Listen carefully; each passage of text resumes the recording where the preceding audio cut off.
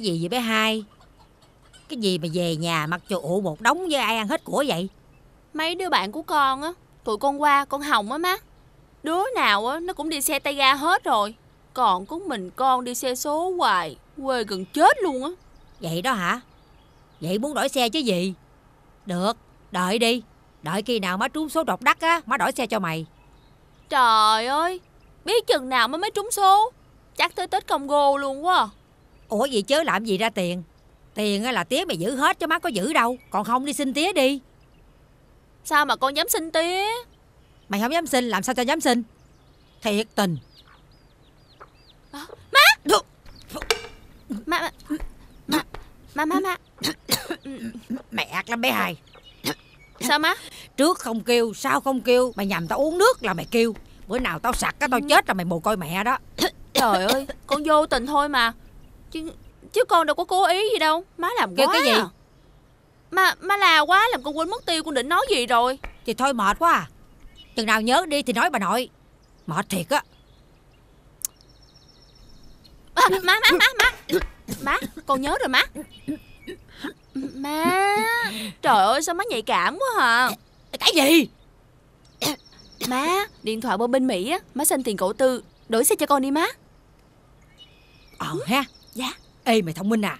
Chuyện vậy mà sao tao nghĩ không ra chứ? Để tao lấy điện thoại tôi gọi cho ổng. À, Má má má Để con gọi Để con. Mấy cái chuyện này là để con. Cậu Tư.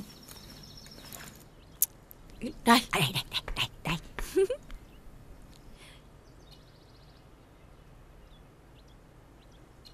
Alo. Anh thân thương. Em nè. Nhớ anh gọi điện cho anh chứ làm sao? Dạ Anh khỏe không anh? À, mọi người đều khỏe hết. Cô Dượng với à, bé hai khỏe không? Bé hai khỏe. Em em nhớ anh. Tối hôm qua em nằm mơ thấy anh Sáng nay em điện thoại cho anh đó anh. Vậy hả? Dạ. Phải về thăm em nha anh. Ờ để từ từ. Dạ. Dạ hôm nay là trước á Là gọi điện hỏi thăm anh. Nhớ quá gọi.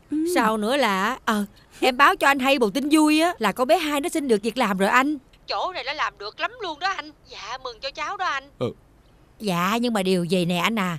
Từ nhà của mình đó anh. Mà tới chỗ làm của bé hai á Nó xa lắm anh. Nó xa tới Hai, ờ, hai cây số Hai cây Dạ hai chục cây số lận anh. Số Trời. Đó rồi cái xe gắn máy của nó cà rịch cà tàn ta nói á nếu á mà đi xe xịn đó anh chừng nửa tiếng là tới chỗ làm thôi. Mà cái xe của nó cà rịch cà tàn ta nói 3 tiếng đồng hồ mới tới chỗ làm. Sáng 4 giờ phải dậy đi làm đó anh. Dạ 7 giờ tới chỗ rồi xong chiều 5 giờ hả? Tan sở về á về tới nhà 8 9 giờ tối tội nghiệp cháu lắm anh. Dạ ờ mà tụi em á thì anh cũng biết đâu có dư giả gì. Cho nên á em mới gọi điện thoại qua cho anh.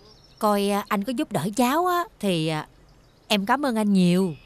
Ờ, Tiền chiếc xe nhiêu? dạ bao nhiêu tiền hả anh? Bao nhiêu bao nhiêu? Dạ ba chục triệu. Ba Ờ, dạ ngàn. không dạ ba ngàn đô. Dạ ba ngàn đô. Ba ngàn lần hả? Ờ dạ thực ra anh giúp à, cháu ba ngàn hay là giúp thêm cũng được không sao hết anh. À, tại anh nghe không rõ cho nên anh hỏi lại thôi. À dạ anh nghe không rõ hả? Ờ, Chừng nào gửi về anh báo cho em biết nha. Dạ dạ thôi cũng được anh. Dạ cảm ơn anh nhiều. Bye bye em. dạ chào anh yêu. Dạ dạ Trời ơi!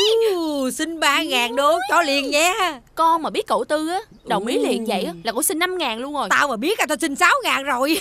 Thôi lần sau á Lần sau tao gọi tao nói là mua xe cho tao. Trời ơi má ơi má Má giỏi quá à. Xin tiền Chịu. Gọi điện thoại để xin tiền lấy chứ gì. Ờ cho. Gì vậy? Bà với con gái bà Hở ra một chút là gọi điện thoại qua bển xin tiền của anh Tư hoài là sao vậy? Ảnh già rồi Ảnh sống bằng tiền hưu Trời ơi bà làm vậy bà xin hoài Tội nghiệp ảnh lắm chứ bà. Trời ơi ông ơi Ảnh là Việt Kiều Mỹ mà. Con của ảnh ở bển luôn Rồi đứa nào cũng đi làm cũng có tiền hết á. Ảnh dư giả tiền hưu Ảnh gửi cho mình. Còn hả con cái của ổng lo cho ổng rồi Thành ra ổng mới có dư. Tháng nào bà cũng xin tiền ổng lấy đâu mà dư? Dư cái gì nổi mà dư Ổng chừng bây giờ hiện tại ổng còn thâm hụt kìa. Ha Ổng chừng bây giờ ổng còn xin tiền con ổng nữa là khác kìa. Thì con ổng bắt buộc phải cho thôi Phải trả hiếu cho cha. Đó Thì biết đâu được á, là ông xin tiền con ổng á, Thì ông gửi cho mình. Có gì đâu mà ông làm thấy ghê quá à. Bây giờ ông kẹt tiền Ông xin tiền đó Thì nó bắt buộc nó phải đưa cho ông thôi. Bà nói gì mà bà nghe được à? Trời ơi anh ruột của tôi mà ông làm thấy ghê. Tía mày kỳ cục Thôi kệ tí đi má. Mai mốt á mà con có xe Con sẽ chở má đi du ngoạn nha má. Không chở ông đi nghe chưa? Dạ dĩ nhiên rồi Con sẽ chở một mình má thôi. Ôi, Con thương má quá à. Chứ gửi kiểu này không biết chừng nào mới đủ tiền về thăm quê hương đây ta. Con chào ba. Cơm nước gì chưa ba? Mới đi làm về hả? Dạ. Ủa Cô Út mới vừa gọi điện xin tiền ba nữa hả? Sao mà biết? Thì nhìn mặt ba là biết rồi. Thì ờ, hỏi thăm nó mà. Mà cô cũng kỳ quá. Tháng nào cũng gọi qua xin hết thứ này đến thứ kia. Chắc là họ nghĩ mình giàu lắm á. Mà họ đâu có biết là nhà mình cực khổ làm từ sáng tới khuya mới có tiền. Ờ, Chắc tụi nó kẹt lắm Tụi nó mới gọi mình hỏi vậy thôi đó mà. Mỗi tháng là mình phải chi biết bao nhiêu là tiền. Tiền điện nè Tiền nước nè Tiền nhà Tiền xe nè. Cái gì cũng phải có chừng mực thôi chứ. Tiền chứ phải giấy đâu mà gọi qua xin hoài vậy. Ừm, Mà cũng tại ba hết á Ba cứ đáp ứng hết yêu cầu của họ Nên họ mới nghĩ là ba giàu lắm. Chứ giờ ba cứ nói là ba già rồi ba không có tiền đi. Sau này họ khỏi gọi qua làm phiền nữa. Thôi ba biết rồi. Đi vô ờ, nghỉ ngơi đi. Nói hoài. Con vô trước à. Ừ. Trời ơi Kiếm tiền ở đâu đây gửi ta